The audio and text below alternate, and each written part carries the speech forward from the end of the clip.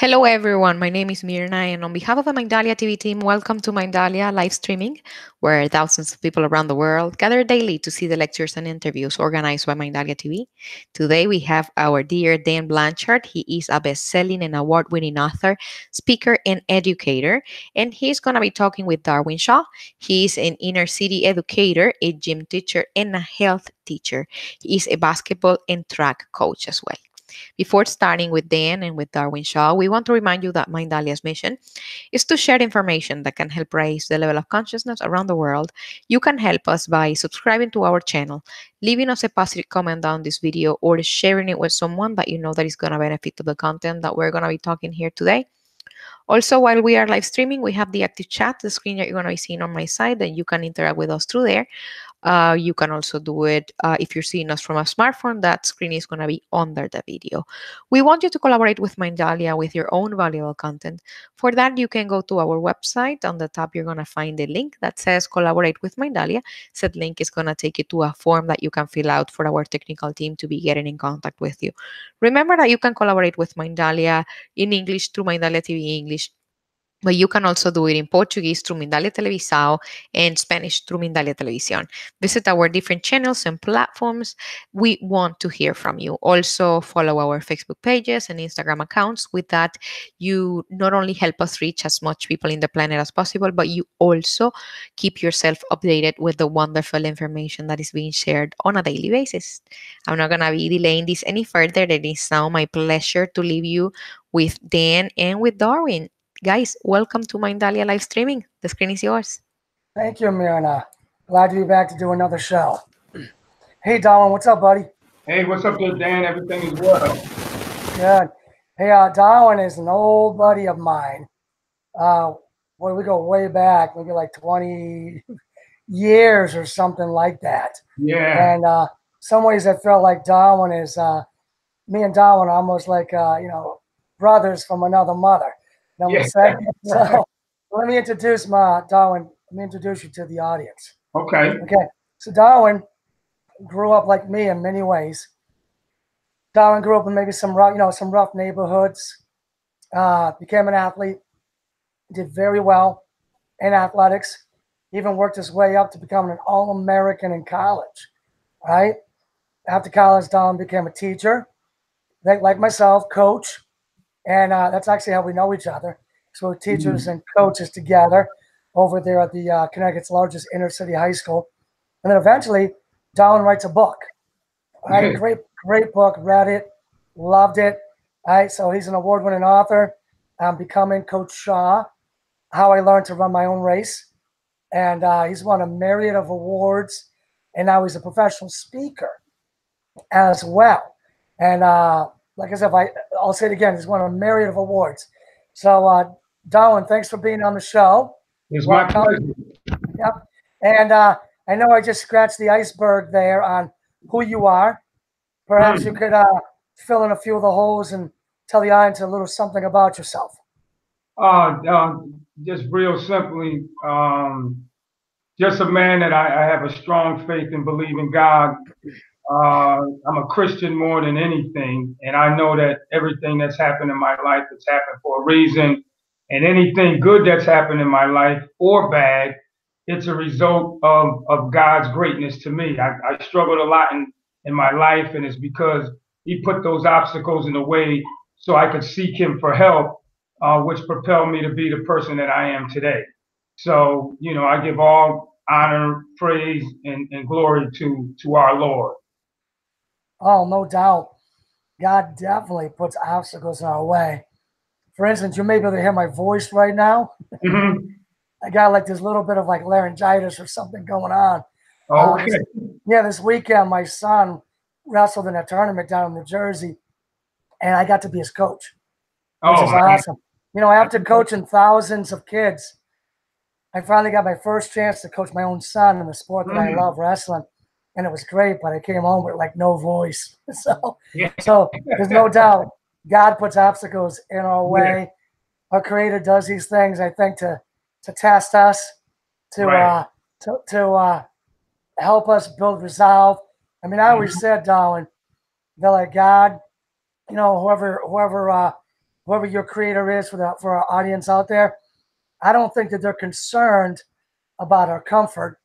Right. I think they're concerned about our about the content of our character. Yeah. saying that's what they're concerned about.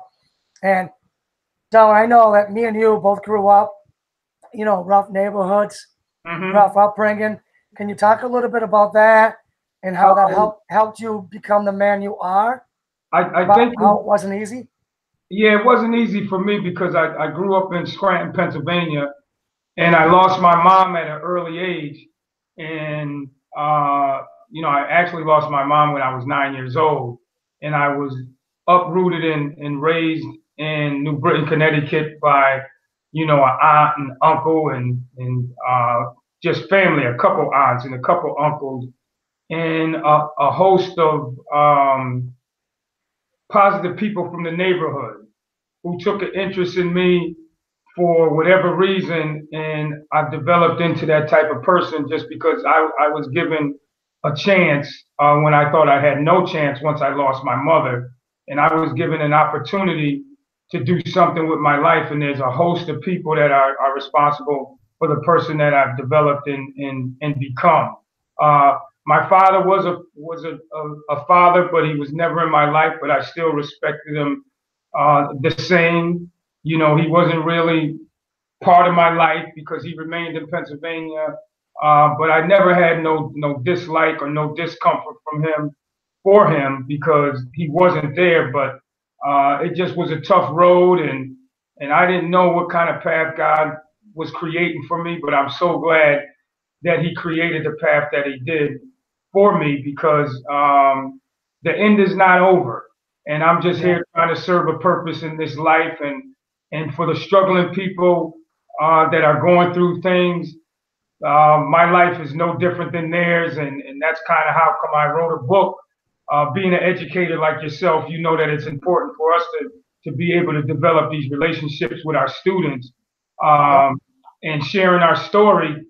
You know, hopefully it, it, gave a lot of them some hope that they can do something within their life uh, and not look at the setbacks that they had in their life, but propel them to move forward. And they need help along the way because you, can't navigate your, your your way through this life without help. And I had plenty of help and, and I respected and I appreciated so many people when I, I stumbled, there was somebody there giving me positive words of wisdom to move forward in my life and, and not look back at the things that happened because everything happens in your life for a reason. So I'm so grateful to so many people um, that put me in the position to be who I am today. No doubt. I mean, nobody does it alone. I know I had one of my buddy's fathers he used to pick me up and bring me to wrestling practices. You know, mm. like I couldn't get there without him. And he used mm-hmm. to pick me up and bring me. And I've had, you know, other fathers that did the same sort of thing. So now, Don, I mean, you found your way. Sports were great for you. And you had some yeah. people that helped you in sports too. Yeah. Tell us a little bit about how sports helped you. Well, sports sports helped me with everything I have in my life right now. It's based on sports. I, I started in a, in a neighborhood that you know, when I moved up to Connecticut, it was a great, great neighborhood. Uh, and the friends that I became close with all were involved in sports. But there was this one particular man um, who was like a father to me. And, and, he basically was two doors from me. And, and me and his uh, son, Dana, and I'm talking about Vieira, Mr. Vieira, he got us all involved with sports. And he told us if we stayed in sports, uh, no matter what was going to come ahead in our life, uh, we can always use the message that we get from sports to to to uh, be great at something. Because when you're you're participating in sports, you you know you're around a unique group of people, but at the same time you you learn how to win, you learn how to lose, you learn how to be a good teammate. There's so much stuff that goes around in sports, uh, and I am so so grateful to, to Mr. Vieira because without him being the one to get all of the neighborhood kids involved, uh, we had boys and girls. And I came into, into Connecticut, I was in fourth grade. And to this day, I still look back at some of the lessons that I learned way back in my, my, my childhood uh, that helps me daily on things that I do with my life today. So, you know, I, I, have to give all the credit to, to Mr. Vieira just for being there. And then once I got to high school and participated in sports, there was a coach that I had in high school. And you know about great high school coaches, uh, Coach Irving Black. I only ran track one year, but my whole life changed around from running track that one year. I got an opportunity to be on a team that won the state championship in, in Connecticut. And from there, I was given the opportunity to go to college, which I didn't think there was any college in my future. Yep. Uh, but just being part of that team, I didn't fill out college applications. I didn't do any of that because my family didn't have any money. And he simply made a phone call, and the rest was history. Wow, it's amazing, Don. No, no wonder why we get along so well. Mm-hmm. we got we got so much in common. Mm. I mean, you know, we had we had people helping us out in sports, getting us there, encouraging us. You become an All American mm. in, in, college. I become a two time Junior Olympian uh, oh, in, in wrestling, and and that's just great stuff. Yeah. But it's the little lessons that we learned along the way, right? That I think made the biggest difference in our lives, such as never missing practice. Yeah. Always, always being on time, mm-hmm. showing up early, staying late, doing extra work, communicating mm. with your teammates, being a good teammate, being a good team player. I mean, it was so many yep. lessons that we learned. Remember. Yeah, too many, too many to remember. And I kind of wish today. I mean, there are some high schools out there where every single kid's got to pick a sport and be in a sport. Yeah. Your typical high school is not like that. I kind of almost wish there was some sort of mandatory thing mm-hmm. where every single kid had to do something extracurricular, yes. whether it was a club, a sport, something, right. so that they could gain those skills and those habits of success that helped us so much. Mm-hmm. I mean, I don't know. Am I am I missing anything there, Darwin? No. I mean, what would you share with us on that whole concept? Because I think that you know, I strongly believe that the the, the stronger your athletic program is in your school, the better better your school is overall. Why? Because people like sports, people like attending sporting events, and people like to root for their own school. So if we yeah. get more kids involved in extracurricular activities, I don't care if they join a sport, if they're part of a, a club, if they're part of anything. Uh, in our school, we have a big school. You know, the, the music department is a big department. We have a lot of people involved with that. We have a lot of different clubs, and we have great sports. The only problem is we have some kids that come to school that don't come for the right reasons, and they're not associated or affiliated with anything which makes them a, a, a little bit outside of, of, of, the school because it seems like there's no belonging to the school. When you're part of those mm. clubs and, and sport teams, there's a belonging. Uh, you're, you're showed how to do things the right way. You're taught how to do things the right way. And most of all, you're, you're shown how to respect the school and respect the community and respect everybody involved with the school. I think if we can get the kids on board to just be part of something within the school, the school uh, becomes a better place. I couldn't agree more with you, Don. That whole belonging thing is so key for today's kids, especially our challenging kids that are not living up to their true potential. You know, yeah. they need to feel like they belong to something. And I know, like when I went to school, we had like championship teams across the board. Mm-hmm. You know, mm-hmm. fall season, winter season, spring season. And then when I look back, I don't think any of us knew what was really happening. Right. When I when I look back, is a high number of my classmates went on to become teachers and coaches. So mm. all I gotta say is that the teachers and coaches of those years in the 1980s back in East Hartford, they must have done something right because yeah. so many of us became teachers and coaches because I think that we felt like we belonged because we all played sports and we were all like doing well and playing like teammates, not individuals, and we all felt like we belonged. So, what was it in your life that helped you? I know you became a teacher, are a teacher. How did you know? how did you go down that road? How did you know you were going to become a teacher? Uh, I, when I went to college, I, I had to choose a major, and I had no idea what I was going to do once I went to college. Because, like I said, first of all, I didn't even think I was going to be able to attend college. But when I went down to college in Kentucky, uh, my track coach sent me to a guy named Dr. William Exum, who became the most influential person I ever met in my life. And as I went through um, the general classes in the first semester, you know, as we were getting ready to enter the second semester, you had to pick a major. And he said to me, he said, You're an athlete, uh, you like sports, uh, you know, you seem to be like a pretty good student. Said, what does it feel like if you was to go back to your community and become a teacher? And then he asked me, he said, how many African American teachers did you have growing up? And I could only think of two. Yeah, that's powerful. And he said, he said, you can go back and you can make an impact because you're telling me there's a lot of minorities from from the, the high school and the schools that you attended. And with there not being minority teachers, maybe you can yeah. be one of them and yeah. that kind of lit lit a torch under me, uh, and that kind of got me on the path to become a teacher. I wanted to come back. I wanted to be able to give back, but I wanted to give back to people that look like me, because Absolutely. we didn't have those kind of people that look like me in the classroom uh, teaching, and and that was was a goal that I had set, and that's what I wanted to do. No doubt about it. Thank God you did. You yes. made such a difference in uh, those kids' lives. I mean, I mean, I, for me, it was a little bit easier, I think. I mean, I was already mm-hmm. coaching wrestling.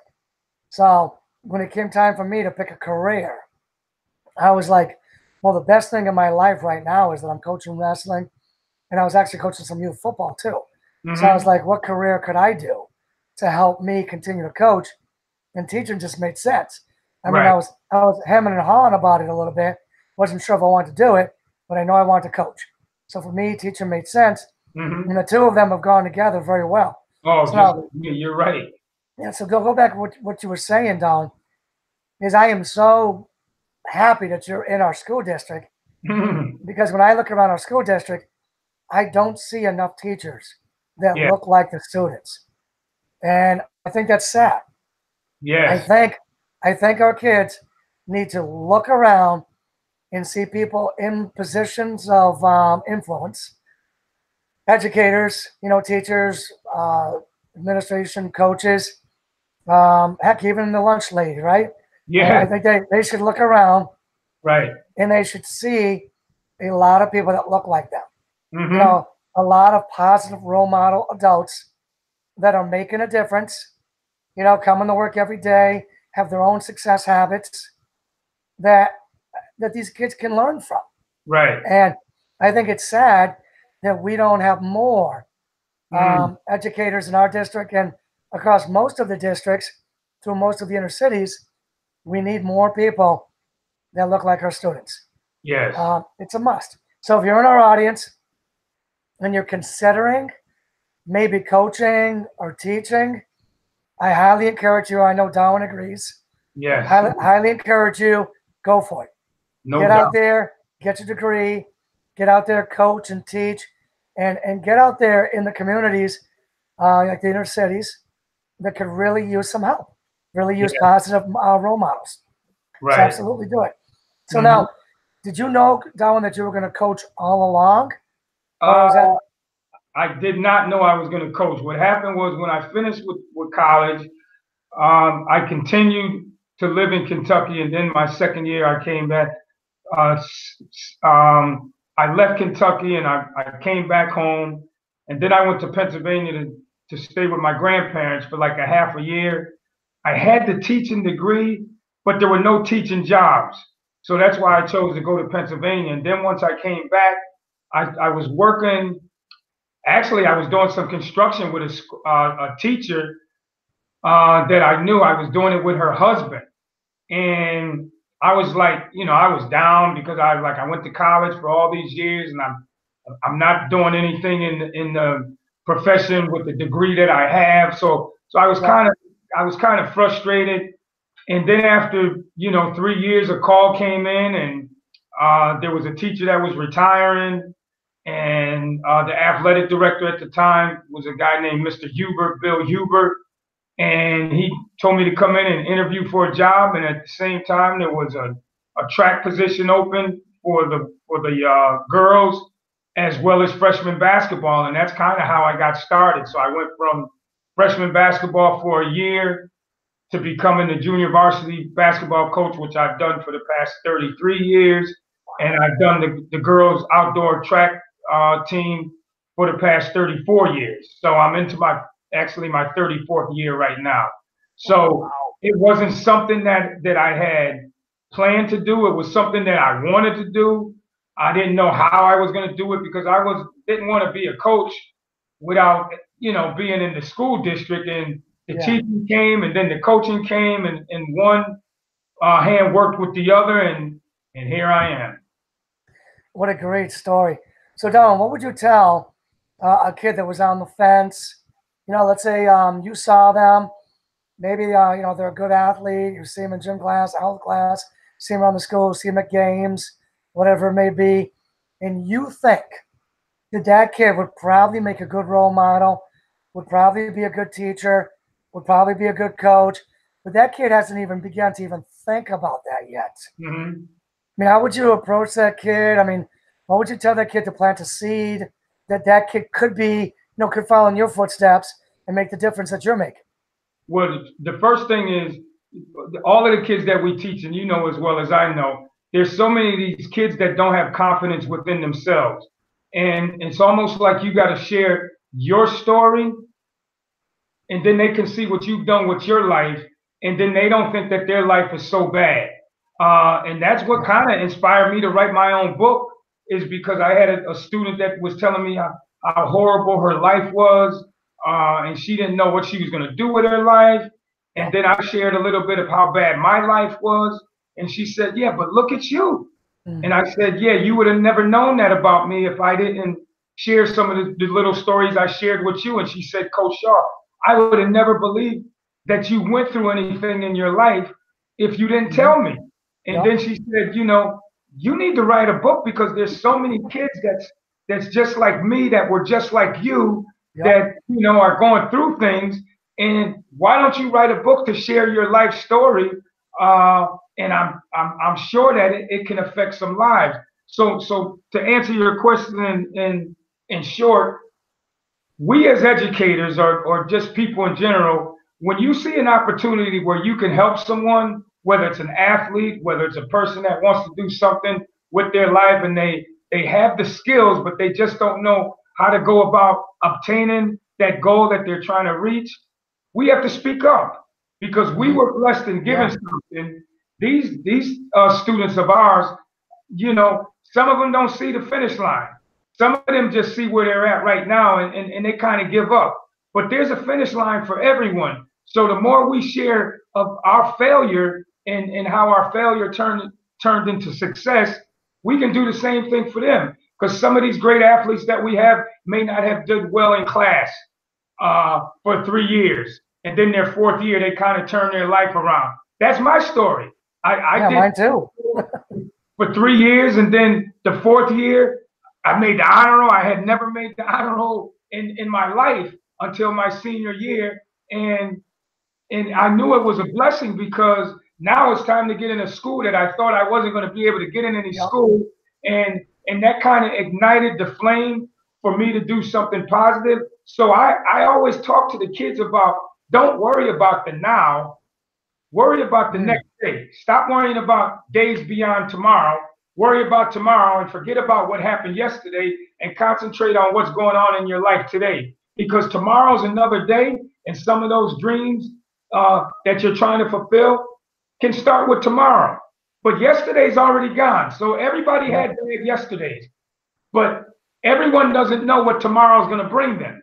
And let's think positive about what we can do tomorrow to do something for our lives that's going to be something productive and, and make our, our families proud of who we are and what we've become. So a lot of stuff, Dan, they got to forget about the past and things that might not have went right in their life and just look at something that, that might be ahead of them, something forward. But they have to seek people in their lives that have struggled and have done something. And me and you are those type of people uh, that can bounce stuff off of these kids because yes. we've been there. Oh, absolutely. I so love how you say that. Like we've been there, we've been through those hard times, and we were good athletes, but maybe not great students. But eventually, yeah. we turned it around. You know what I'm saying? And we put ourselves in a position where now we can add value to kids' lives through our experiences and through what we're doing. And I love, Darwin, how you said the adults need to speak up. They need to speak up and tell these kids that they can do it. I mean, after all, Darwin, it was students that spoke up to me and you to write books. I mean, right. the reason I the reason I wrote a book, the reason you wrote a book, was because students spoke up and mm-hmm. said, "Hey, you should write a book." You know what I'm saying? So imagine if those students never spoke up and told me and you to write yeah. books. We Where probably would not be authors. Where would we be today if right. the students didn't speak up, right? So yeah. adults need to speak up. So why don't you tell us, Darwin, a little bit about this book since we're on the topic? Mm-hmm. And I read your book. I loved it. Loved your story. Mm. And I know a student said you should write a book. That was kind of the genesis of it. Can you kind of take us on that journey about your book? Yeah, so so the book pretty much starts off, you know, growing up in Pennsylvania, uh, losing my mother at an early age, and you know, me and my brothers and sister being um, moved to Connecticut to be raised by extended family. Uh, it goes through all the ups and downs that I've had in my life. Uh, every time I had a setback, uh, you know, I relied on on my my faith and my strength in the Lord. Even at an early age, when I really didn't know God as well as I know God now, I had a grandmother that was faithful, and I lived in the church. I, I loved being part of the church, but I just didn't, you know, I, I didn't connect with God the way that I needed to. So as I'm I'm I'm going through this journey uh, with my life, I knew everything happened for reasons. So the book it, it, goes through some some peaks and valleys. There's a lot of ups and downs, but at the end of the day, um, it talks about the people that helped me along the way. You know, the, the stories that that are in the book uh, are about people that actually helped me become who I am. So the title of the book, Becoming Coach Shaw, How I Learned to Run My Own Race, uh, is, is, is what kids need today, or people in general need today, because we're going through this, this, this journey of life, and we're trying to do, a lot of our kids try to do what others want them to do rather than what they need to do themselves. And the book teaches you how to become your own person, how to how to be strong with your own beliefs, how to run your race and do it the way that you're supposed to, and don't be influenced by others to do things that they want you to do. So, uh, without giving so much up about the book, because I don't want to, if I share the whole story, then nobody needs to buy the book. so, so the key is, uh, I, I struggled in life. I, you know, you had already hit it on, and I became an All-American track athlete. Uh, it'll show you the, the trials and tribulations I went through in college when I got kicked off the track team, and I was granted another chance to participate again because a new coach came in. And with, with God's strength, I was able to become one of the best in the United States, uh, two time All American. But again, it goes back to being helped by um, people in the neighborhood. Again, I, I, I credit coaches, and, and the two that I credit would be Mr. Vieira uh, from my early childhood, and then once I got into high school, it was uh, Coach Irving Black, Coach Black. And then once I went from high school and got to college, it was Dr. Exum. Uh, so those three people put me on the path. And, and it's really, to be honest, Dan, it's a tribute to them, along with my grandmother, who was just, uh, she was the best human being I ever met in my life. Uh, and, and she taught me the values of believing in myself, she taught me the values of trusting in God. And, you know, it was a tribute to her and to the other people that I mentioned of why I wanted to share my story because I wanted people to know that those are the people that created Coach Shaw yes. or Darwin Shaw. So, mm-hmm. you know, again, a lot of ups and downs, but I, I never gave up on my dreams and I stayed prayerful, I stayed faithful, uh, and I just never forgot. So the best thing I could say about the book is, uh, if you read it, you won't be disappointed. There's so many people that have read the book uh, that have went on Amazon to put reviews, and Yep. uh, the reviews on Amazon. Uh, last time I checked, there was something like 130 Wow, reviews, and amazing. 100 and out of the 133 re- reviews, 129 were five stars, Wow. four were four stars. Yeah, now it's amazing. book two, and I will Cool. be, you know, starting on book two. Hopefully this summer, I'll be starting on book two, and and I'm going to pick up right where I left off. That's awesome, darling. So I'm so happy for you. You know, one of the things I know Mirna's going to come back on in a moment to close up the show, but one of the things that I love about um, people like me and you is that we never settle on our lows and rest on our past successes. We're always pushing the envelope, trying to be that role model, that example for our youth. You know, Yeah. you're going to be writing another book. You're also, I know, a professional speaker.